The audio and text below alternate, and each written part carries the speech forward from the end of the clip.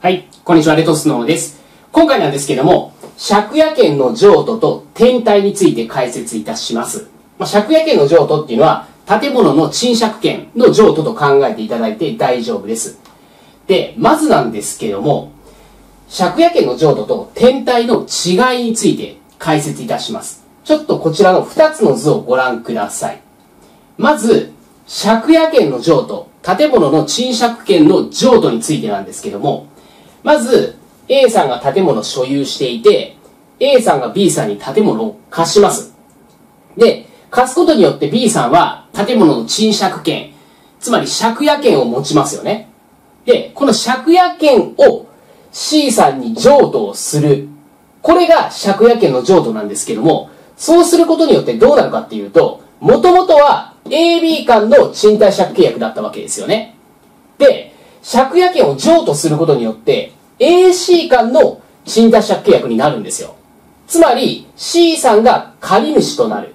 B さんもともと借主だったけれども、借家権を譲渡することによって C さんが借主となる。まあ、貸主は A さんですね。こういった構図なんですよ。借家権の譲渡は。一方で天体。これ、また貸しと呼ばれるものなんですけども、A が B に建物を貸すっていうのは同じです。ここは同じ建物を貸します。で、その後 B さんが天体する、また貸しをする。この場合、BC 間で天体借契約っていうものを結ぶんですね。いわゆるまた貸しの契約です。この場合、AB 間では賃貸借契約が締結されていて、BC 間では天体借契約が締結されています。AC 間の契約ってないんですね。借家権の譲渡の場合は、AC 間での賃貸借契約がこう締結されるんですよ。一方で天体の場合は AC 間で何ら契約はありません。あくまでも AB 間の契約と BC 間の契約なんですよ。この点が違うんですね。で、まず一つ目のポイントとしては、借家権を譲渡する、また、転退する場合、この場合、賃貸人 A さんの承諾が必要となってきます。まずこれポイントとして頭に入れておきましょう。で、天体における ABC の呼び方なんですけども、まあ、A は賃貸人ですよね。で、B さんは賃借人ですよね。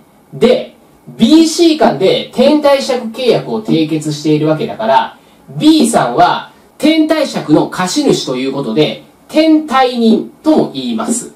で、C さんは天体借契約の借主だから、天借人と呼びます。で、下の表いきます。これは天体に関する内容です。天体について、この左側、期間満了とか解約申し入れ、合意解除、B の債務不履行による解除。ここについては、この1番の賃貸借契約の話です。で、こちらは、天貸借契約の話になってきます。ちょっと一つ一つ見ていきますね。まず、この AB 間の賃貸借契約が、期間満了によって終了する。また、解約の申し入れによって終了する場合、この場合、こっちの BC 間の天体借契約どうなるんですかというと、賃貸人 A さんが転借人 C さんに通知をしなければ A は C に対抗することはできません。で、この通知って何かというと、賃貸借契約が期間満了によって、まあ、終了しますよと。また、賃貸借契約が解約申し入れによって、まあ、終了しましたよと。まあそういった内容です。で、そういった内容を A さんは C さんに通知をしなければ、A は C に対抗することができないんですね。つまり、通知をすることによって A さんは C さんに対して出て行ってと主張することができるという話なんです。これ言わなかったら C さん、この賃貸借契約の内容を知らないわけですよね。通常知らないんですよ。だからいきなり出て行ってって言われても困るわけですよね。だから、通知をしてくださいよ。通知がないのであれば、A さんは C さんに対して出ていけと主張することができませんよ。という話です。で、C さんはじゃあ、いつ出ていかないといけないのかというと、これは通知があった日から6ヶ月経過した後です。その時、この BC 間の天体借契約は終了するんですね。なので、通知を受けてから6ヶ月経過したら、C さんは出ていかないといけないということになります。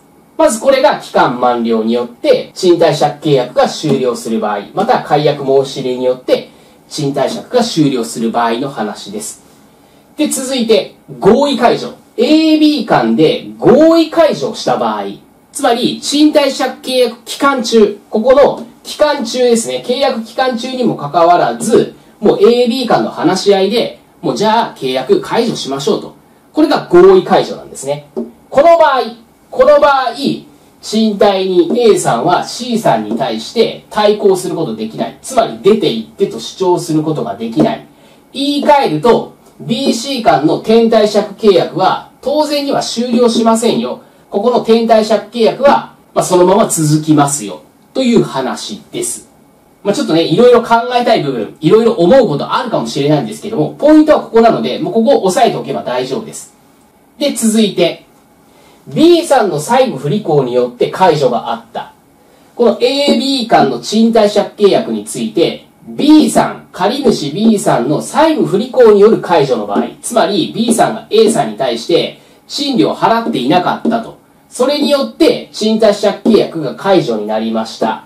この場合、BC 間の天体借契約どうなるかというと、これは賃貸人 A さんが転借人 C さんに返還請求をしたときに、天体借契約は終了します。つまり、賃料不払いによって、AB 間の賃貸借契約終了しました。で、その後 A が C に対して、建物を明け渡してくださいと請求した。そしたらもうその時、天体借契約は終了なんで、まあ、C さんはすぐにでも明け渡しをしなければならないということになるんですね。まあこれちょっとかわいそうに思えるかもしれないんですけども、もうこれは B さんが賃料を払わなかった。その結果としても A さんが一番不利益被ってるわけですよね。なんでも A さんの方を保護しようということで、ちょっと C さんかわいそうだけども、返還請求受けちゃったら、もう C さんは借りた建物返さないといけませんよっていうことになります。で、もう一つこれポイントがあって、この返還請求をする前に、A さんは C さんに対して、この賃料の支払いの機会を与えなければいけないのかというと、これ与えなくてもいいんですね。B さんが払わないのであれば、C さん私が代わりに払いますよっていうこともあるかもしれないわけですね。なので、支払いの機会、事前に与えた方がいいんじゃないのかと思われるかもしれないんだけども、これは A さんは C さんに支払いの機会与えなくてもいいというふうなルールになっているので、もうこれは覚えた方がいいと思います。